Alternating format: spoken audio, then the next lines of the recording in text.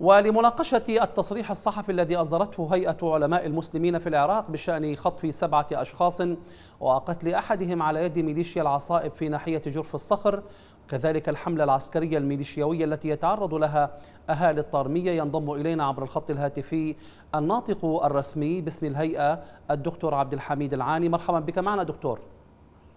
حياكم الله مرحبا بكم. دكتور أصدرتم في هيئة علماء المسلمين تصريحا صحفيا بشأن خطف سبعة أشخاص وقتل أحدهم على يد ميليشيا العصائب في ناحية جرف الصخر. بداية كيف تنظرون إلى هذه الحوادث التي أصبحت ظاهرة منذ أن عرف العراق الميليشيات التي أنشئت على خلفية آه، فتوى الجهاد الكفائي؟ نعم بسم الله الرحمن الرحيم. لكل أسف نقول أن الانتهاكات باتت في المشهد العراقي ربما من المشاهد المتلازمة كأحداث يومية ومتكررة. وهذه الانتهاكات هي التي يتعرض لها أبناء الشعب العراقي بكل أنواعها. لكن الجريمة الكبرى التي يعمل عليها المشروع الإيراني وينفذه ميليشياتها في العراق وأذرعها في العراق هي جريمة التفجير القسري لأماكن متعددة ولا سيما من حزام بغداد ولساكنين آه، كثيرين يعني والساكنين الأصليين لهذه المناطق.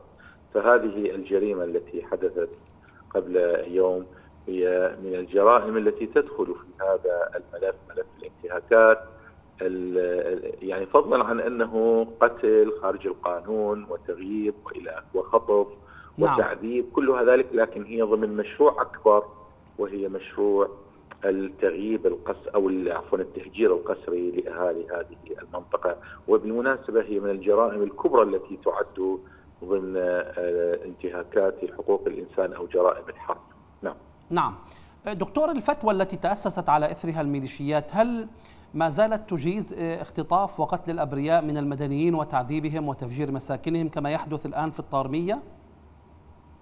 يعني هذه الميليشيات هي قامت على مبدأ طائفي مع الأسف وقامت على مبدأ آه، آه، الإقصاء للآخرين وتصريحات الفتاوى المؤيدة لهؤلاء والسانده لهم وتأييدات أو تصريحات قادتهم نعم. السياسيين أيضا هي كلها تصب في هذا المصب ولذلك لا يمكن الفصل بين هذا الأساس العقدي الطائفي مع الأسف في هذه الميليشيات ومع ما ينفذ على أرض الواقع وإن كان هنالك أيضا مزجا بين هذه الطائفية المقيتة وهذه الفتاوى المؤيدة والساندة لهم وبين الأطماع الشخصية لهذه العناصر بارتكاب آه، يعني ارتكاب آه، جرائم بهدف التكسب نعم. من المال الحرام من أبناء الشعب العراقي. دكتور في مسألة المحاسبة والملاحقة يعني هل يمكن أو كيف يمكن محاسبة وملاحقة الجناة ولا سيما أنه حتى تقرير الطب العدلي في المستشفى التي نقلت إليها جثة الضحية على سبيل المثال يتم التدخل به ويرفض أن يكتب سبب الوفاة الحقيقي وتكتب أسباب أخرى حتى في هذه لا يتركون أثرا لجرائمهم ولكن مع هذا كله فانهم بإذن الله تعالى لن يفلتوا لي أولا هنالك حساب سيكون على الصغيرة والكبيرة من لدن الحكم العدل الذي لا يعزب عن علمه شيء.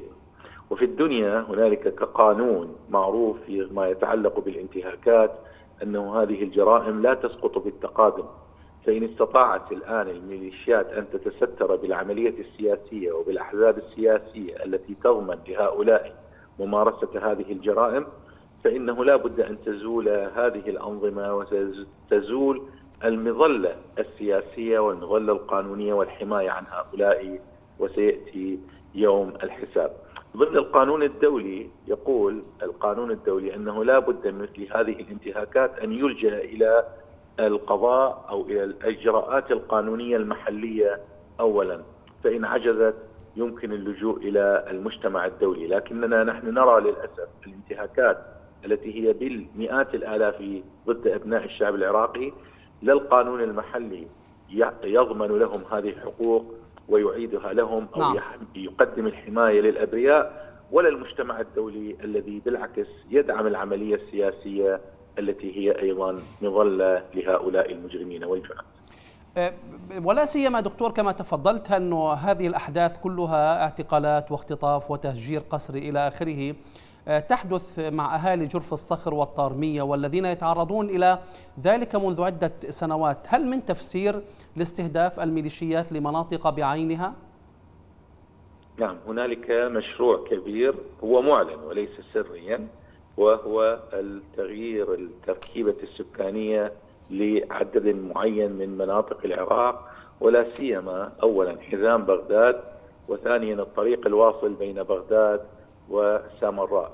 فهذا قد أعلن عنه من لدن العديد من الشخصيات بالوثائق طبعا التي فضحت هذا المشروع والذي نراه ينفذ منذ 2003 إلى الآن على قدم وساق باستهداف هذه المناطق منذ من جنوب بغداد الصخر وحزامها من جميع الأطراف نعم. ولا سيما شمال بغداد وصولا إلى سامراء، فهذه الجرائم هي تجري ضمن هذا المشروع المخطط له وكما قلت في بداية حديثي هذه الميليشيات هي أدوات تنفذ هذا المشروع الإيراني في العراق.